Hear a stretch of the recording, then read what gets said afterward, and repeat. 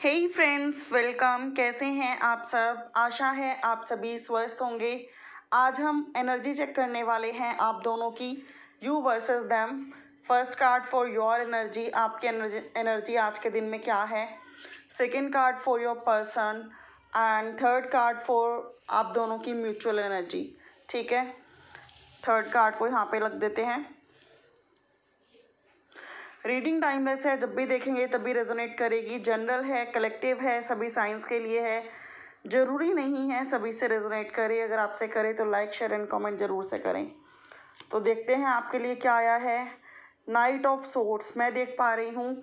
आप आज बहुत ही इम्पेशेंट हो रहे हो। आपको गुस्सा आ रहा है। आप अपने पर्सन से नाराज़ हो।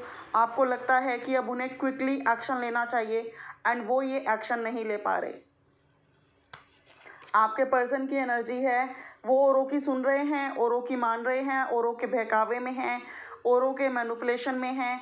आप पे उनका अटेंशन कम है थर्ड पार्टी सिचुएशन पे उनका अटेंशन ज़्यादा है। आपकी तरफ़ सेक्सुअली तो वो अट्रैक्ट होते हैं, लेकिन इस रिश्ते को कोई सॉलिड फॉर्म देने के लिए रेडी नहीं है। आप दोनों की म्यूचुअल एनर्जी क्या है? आप दोनों की म्यूचुअल एनर्जी ये है कि आप दोनों ही एक दूसरे से बहुत प्यार करते हो।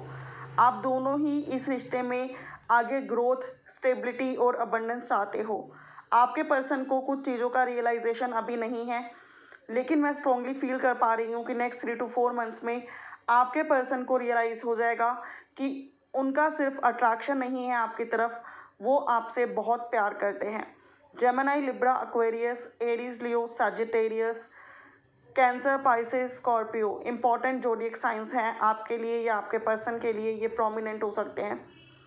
Four twenty two, thirteen, thirty one, twelve, twenty one, thirty और थ्री, ये नंबर्स आपके लिए या आपके पर्सन के लिए प्रोमिनेंट हो सकते हैं।